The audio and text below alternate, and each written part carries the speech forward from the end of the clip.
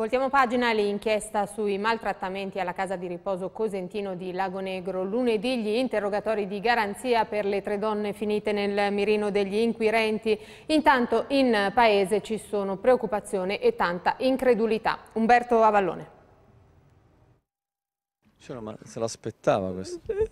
Non me l'aspettavo perché ne avevamo piena fiducia perché comunque noi siamo io sono da tantissimi anni mia madre è, qua in questa casa di riposo però io no, no, no, no perché ci conosciamo tutti era come una famiglia è una dei parenti degli ospiti della casa di riposo Maria Luisa Cosentino di Lago Negro chiusa da ieri sera nell'ambito dell'inchiesta condotta dalla procura che ha portato all'arresto ai domiciliari della coordinatrice di un'operatrice sociosanitaria e al divieto di dimora per un'altra operatrice. L'accusa quella di maltrattamenti a danno di alcuni anziani ospitati, un fulmine a ciel sereno per i familiari dei pazienti. Dal TG3 ieri l'ho appreso questa cosa, a me non mi ha avvisato nessuno, poi ieri sera mi hanno dato la conferma che veniva chiusa la struttura. Mi chiamano continuamente le mie amiche come solidarietà, però non, non lo so, c'è persone che noi conosciamo una vita.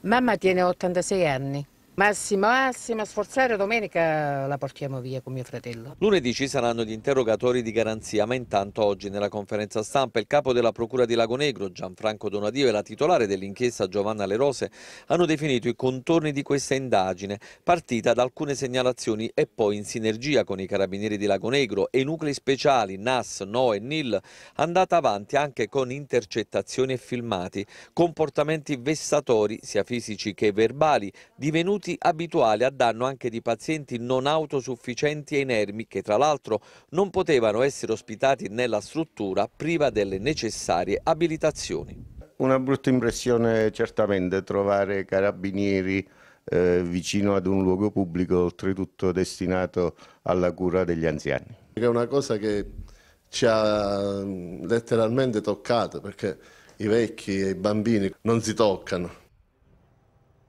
A metà ponte